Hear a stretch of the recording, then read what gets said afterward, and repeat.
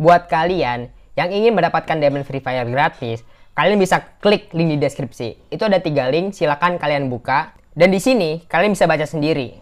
Tuh, ada cara mendapatkan diamond gratis. Kalian scroll aja ke bawah, banyak kok. Tuh. Tuh, cara mendapatkan 1000 diamond Anda sekarang.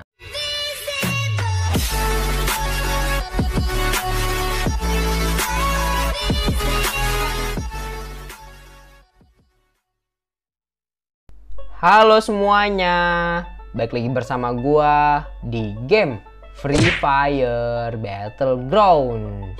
Nah cuy, pada video kali ini gue bakal ngebahas tentang bocoran update Free Fire. Kalian tahu, Free Fire itu diupdate tanggal 29 Juli. Lebih tepatnya, di jam 9 pagi itu sudah maintain cuy. Nah, pada video kali ini, gue bakal kasih tau ke kalian setelah selesai main tense, itu perubahannya ada apa aja sih?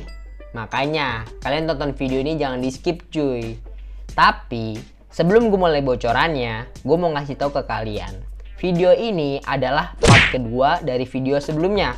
Dan di video sebelumnya, gue sudah kasih tahu beberapa perubahan dan juga beberapa updatean terbaru yang akan datang di Free Fire. Jadi buat kalian yang belum nonton part sebelumnya atau video sebelumnya, kalian bisa klik link di atas. Biar kalian tuh tahu updateannya itu ada apa aja. Gitu cuy. Nah sebelum gue mulai inti videonya buat kalian yang baru tahu channel ini jangan lupa klik tombol subscribe ya. Karena satu subscribe dari kalian tuh sangat berarti untuk membangun channel ini ke depannya seperti apa. Dan terima kasih yang udah subscribe dan support gue selama ini. Berkat kalian nih channel gue berkembang. Alhamdulillah Ayo cuy, ajak teman-teman kalian nonton channel ini. Semoga channel ini ke depannya semakin bermanfaat. Amin. Sebelum gue mulai bocorannya, ini pasti banyak banget dari kalian yang bertanya, Bang, kapan Free Fire selesai di-update atau selesai maintenance? Di sini gue bakal menjawab sesuai pendapat dari gue. Yang pertama, kita belajar dari updatean sebelumnya. Free Fire itu sudah bisa diupdate di Play Store kemungkinan siang atau sore.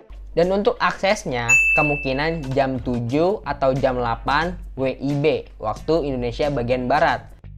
Yang kedua, kalian bisa lihat foto berikut. Foto ini resmi dari fanspage Garena.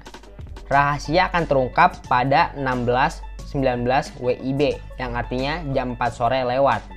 Ini gue kurang tahu bener atau enggaknya. Yang jelas ya, intinya kita bersabar.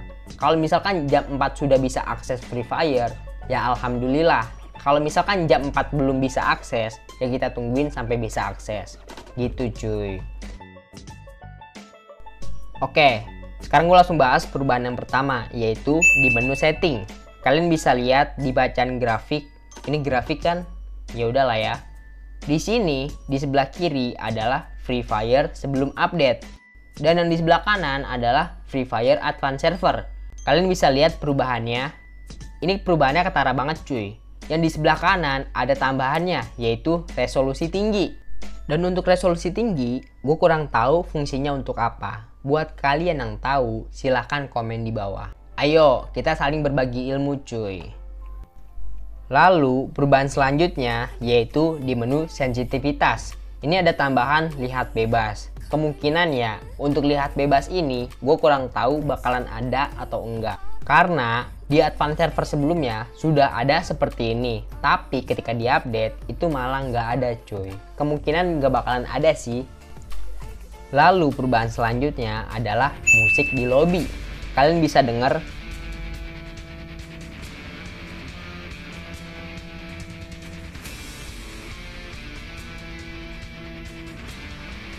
Menurut kalian gimana nih musiknya? Coba komen di bawah. Kalau gua tipe orang yang ketika di lobby nggak suka dengerin musik, makanya musiknya gua offin cuy. Sekarang gue lanjut lagi. Perubahan kedua yaitu penambahan emot. Kalian bisa lihat, ini sayang banget. Ada tiga emot terbaru, tapi di advance server cuman bisa ngelihat satu emot. Ini dua emot legend tersebut gue belum tahu atau belum dapat bocorannya cuy ya udahlah ya dua emote tersebut kita tunggu selesai update aja oke okay?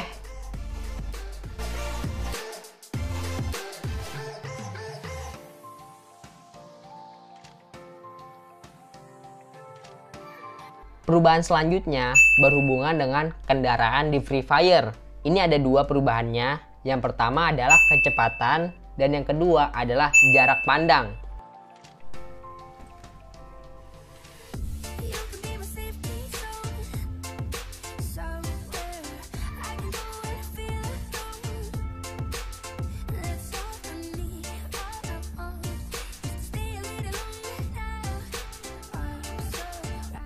Sebelum gue bahas perubahan tersebut, kalian bisa lihat wujud mobil biru itu lebih mulus ketimbang updatean sebelumnya. Anjay nggak tuh? Mobil biru ini seperti di Free Fire Max cuy. Wih, lebih keren sih intinya. Oke, sekarang gue bakal bahas perubahan yang menyangkut kendaraan di Free Fire. Yang pertama adalah jarak pandang atau kameranya.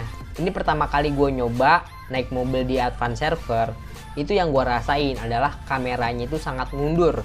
Lalu perubahan yang kedua adalah soal kecepatan. Kecepatan ini gue tidak mencoba maksimumnya itu berapa. Tapi gue dapat info di salah satu link kalian bisa lihat. Ada beberapa kendaraan yang di buff dan juga di nerf. Ini ada tuk-tuk, sepeda motor, jeep itu di buff. Sedangkan mobil monster itu di nerf, kecepatannya dikurangin. Kalian bisa lihat ya.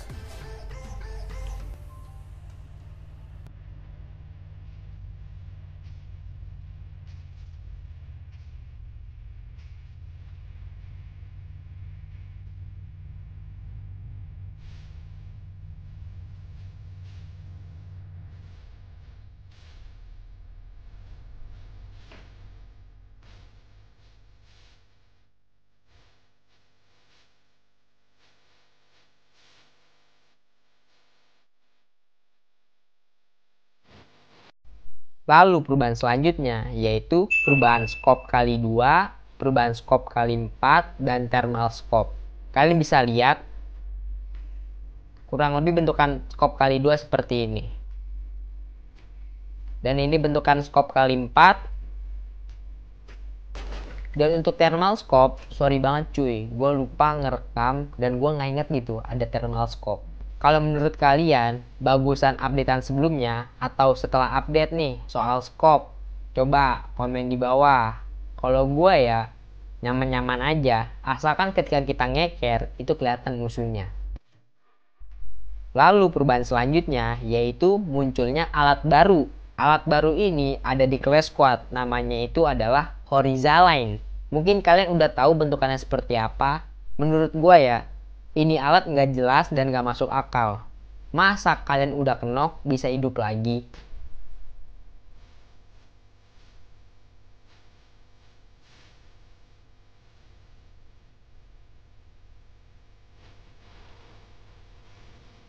Apalagi ketika kalian sudah hidup, healthy point kalian menjadi 100 HP. Wah, aneh. Untuk Horizon ini, gua rasa adanya di Clash Squad Classic dan untuk di class code ranked itu nggak bakalan ada deh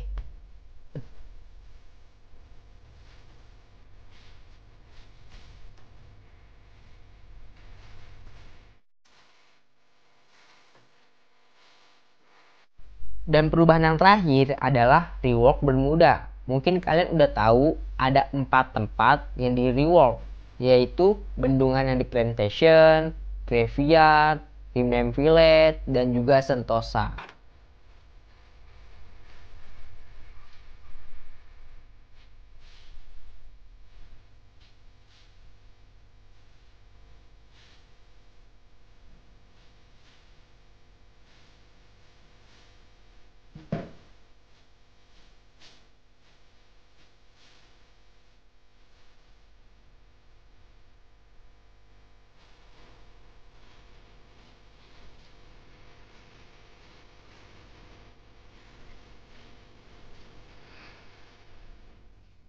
Kalau misalkan kalian kepo dengan bentukan tempat terbarunya, kalian bisa klik link di atas.